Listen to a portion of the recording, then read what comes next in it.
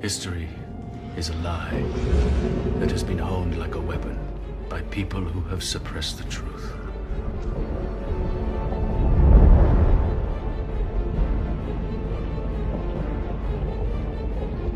Centuries from now, your own history will also be suppressed.